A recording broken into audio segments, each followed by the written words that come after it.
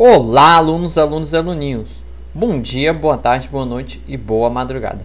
Aqui quem fala é o professor Rafael Guarapa vamos aprender a como acessar a sua conta do Banco do Brasil utilizando o Linux com a distribuição Ubuntu, beleza? Então, para isso, vamos utilizar o navegador Firefox, que já vem por padrão no sistema.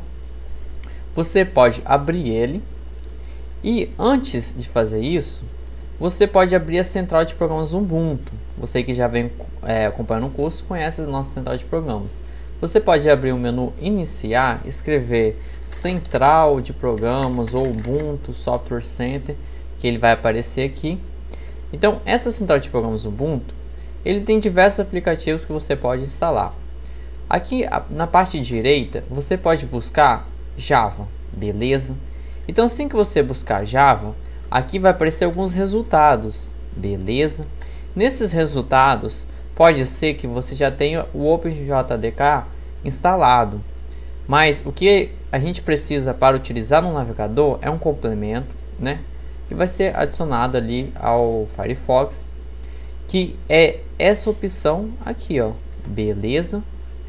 Se você clicar aqui ou aqui também, ele vai acabar instalando. Então, basicamente, esse plug, tia Java Plug, você pode clicar nele em mais informações, você pode obter detalhes sobre ele e aqui à direita você pode efetuar a instalação. No meu caso, está a opção remover porque eu já instalei ele. Assim que você colocar instalar, ele vai pedir a senha do seu usuário. Assim que você autenticar, você pode fechar se você está com seu navegador aberto, você pode fechar, abrir ele novamente. Aqui à direita você pode verificar se ele está funcionando ou não. Nessa opção, você pode descer aqui, opa, e entrar aqui ó, em complementos, beleza? Em complementos, temos a opção de plugs. Nessa opção aqui à direita, você vai encontrar ele instalado. Observe que ele tem uma opção de perguntar para ativar. Eu prefiro deixar essa opção, pois é, quando aparece algum site pedindo o, a utilização do Java, eu quero que ele pergunte para ativar, não que, que seja executado auto, automaticamente. Então, muitas vezes, por segurança, é melhor essa opção estar marcada perguntar para ativar, mas você pode botar sempre ativar e nunca ativar. Aqui ele vai te perguntar toda vez que você quiser entrar, beleza? Mas se você quiser colocar sempre ativar e não perguntar, você é, vai facilitar de você não ter que colocar muitas vezes sim, quero usar, é, ter essa autenticação, mas tem esse outro lado que eu falei no começo, beleza? Então, com ele instalado, como vocês podem ver aqui, esse procedimento é automático. Assim que você instalar no central de programas, ele vai perseguir em complementos, Firefox. Outra questão que você pode utilizar um recurso do navegador é abrir uma navegação privada antes de entrar na sua conta do Brasil. Isso permite que ele não salve o seu histórico. Isso pode ser legal, beleza? Então, se você quiser fazer isso, você pode clicar aqui à direita e você vai ter diversas opções. Dentro dessas opções, você pode abrir uma nova janela privada ou pelo atalho Ctrl Shift P. Essa nova janela privada permite que isso aconteça. Então ele não vai salvar seu histórico e várias coisas. Você pode autenticar aqui preenchendo o endereço do site oficial www.bb.com.br. Ele vai redirecionar para a página inicial do Banco do Brasil.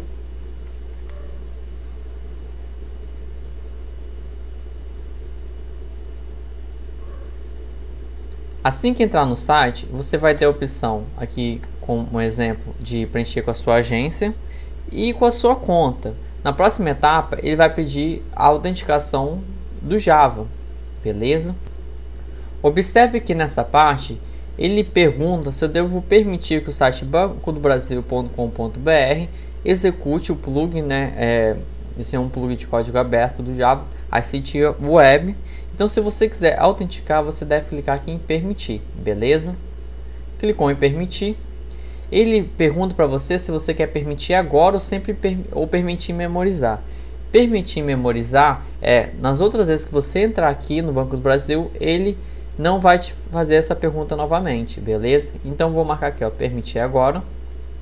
Mas se você entra constantemente, você pode memorizar o, esse plug sempre funcionar aqui no Banco do Brasil. Bem, vai ter essas autenticações aqui referente ao Banco do Brasil. Você deve colocar IS para continuar. Nessa parte, ele pede uma senha de 8 dígitos e essa senha você consegue na sua agência do Banco do Brasil, beleza? Então você que quer é, acessar sua conta do Brasil, é, não adianta ter o plug funcionando se você não tem a senha para acessar via internet. O objetivo da videoaula é mostrar como você consegue instalar um complemento ao Firefox para que você consiga é, utilizar o recurso Java e acessar sua conta. Agora você digita a sua senha. Observe que ele conseguiu entrar e está funcionando muito bem utilizando o Linux é, com o Firefox e com esse plug ICT, beleza?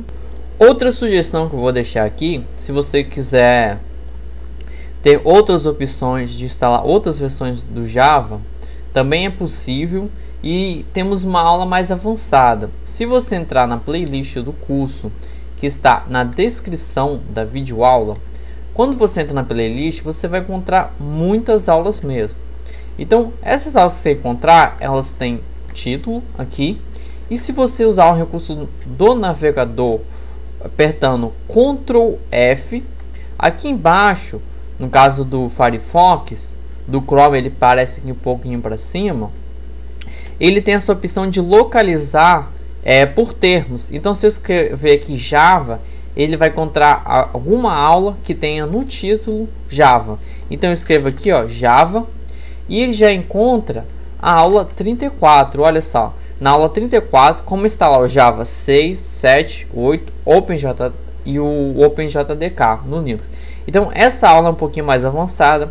Se você quiser ter mais opções de Java, ou se esse plug que você instalou nessa videoaula é, não está te atendendo bem, você quer instalar o, o plug é, de código fechado do Java e testar outras versões do Java, dependendo aí do que você precisa acessar, essa aula é indicada, beleza? Então aqui encontramos a videoaula e você pode clicar aqui e assistir essa videoaula, que ela é uma aula mais completa, é, apenas ensinando você instalar vários é, plugs do Java. Então a gente vai instalar vários e mostrar várias opções que você pode utilizar, beleza?